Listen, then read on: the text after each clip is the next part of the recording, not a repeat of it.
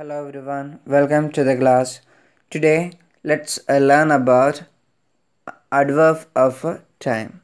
What is an adverb of time? An adverb of time tells us when an action happened. So they are adverbs that answers the question when.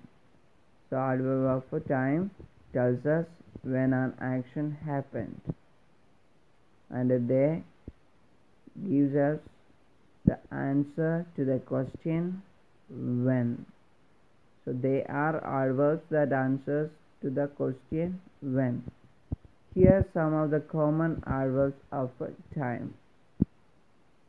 Now yesterday today later tomorrow last week tonight last year earlier soon so these are the some of the common adverbs of time. So adverbs of time. Let's discuss few examples. He will go home now. So if we ask the question, when will he go home? So we get the answer that is now. So next is adverb of time. Another example, mom bought this yesterday. So if we ask the question, when did mom buy this? So we get the answer yesterday. So yesterday is a adverb of time. The next is a Miss Ramos will give a test today. So if we ask the question, when will Miss Ramos give a test? So the answer is today. So next another example. Diane will bake a pie later so if we ask the question when will Diane bake a pie? So the answer is later. So later is the adverb of time the next example is uh, I will receive my order tomorrow. So if we ask the question when will I receive my order? The answer is uh, tomorrow. So tomorrow is the adverb of time. Another example. Aunt Helen visited the farm last week. So if we ask the question, when did Aunt Helen visit the farm? So answer is uh, last week. So last week is a adverb of uh, time. The next, they will watch a movie tonight.